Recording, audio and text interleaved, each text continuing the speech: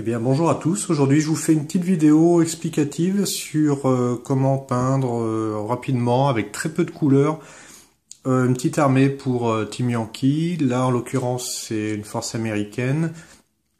Pour faire simple j'ai choisi couleur sable, genre opération Daguet en 91. Donc l'armée américaine, les blindés étaient couleur sable, donc voilà c'est pour ceux qui osent pas trop se lancer dans la peinture en se disant non je suis un piètre peintre. Le 15 mm, c'est pas si sorcier que ça. Faut peut-être éviter au début de se lancer dans du camouflage, c'est vraiment pas évident. Je vais vous, vous montrer donc par étapes, euh, avec très peu de peinture, comment on peut arriver à un résultat euh, potable, disons, pour, pour pouvoir euh, jouer sur l'étape de jeu. Allez, c'est parti. Donc, après montage, bien sûr, là on a un Abrahams. Bon, voilà. Maintenant, je vais vous montrer Hop, je mets la figurine de côté.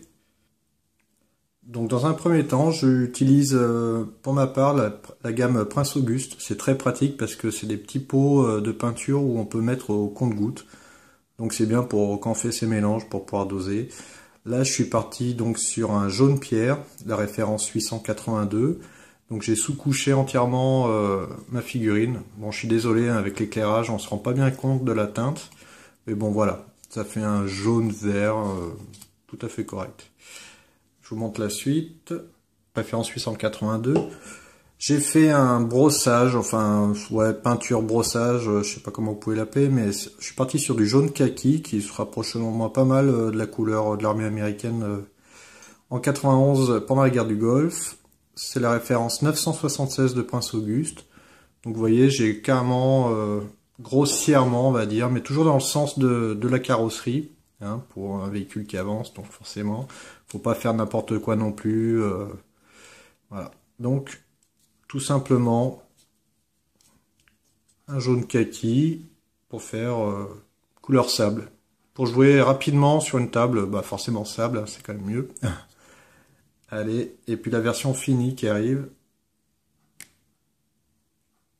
Voilà, donc euh, avec le noir qui est là, donc au total on aurait utilisé 5 peintures, c'est le noir euh, référence 950 de Prince Auguste.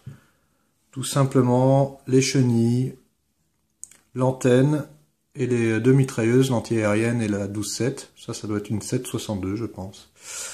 Avec euh, un marron sable, donc très clair, la référence 876, j'ai fait bah, les salissures, vous voyez au niveau des, des jupes au-dessus des chenilles. Et puis avec euh, du ivoire os, référence 918, je l'ai mis, j'ai fait un petit mélange 50-50 avec du jaune kaki pour, euh, pour les arêtes en fait du véhicule, pour éclaircir, mais c'est vraiment sommaire. Donc vous voyez, voilà, là vous avez un char euh, tout à fait correct pour pouvoir jouer avec vos potes sans problème. Voilà. J'espère que ça vous aura plu et puis si vous si, cela vous plaît, pardon, bah, n'hésitez pas à commenter ou donnez-moi des conseils, parce qu'il y a forcément meilleur que moi. Hein. Mais bon voilà, c'était juste une petite vidéo pour, euh, que les gens puissent se lancer, euh, tout simplement.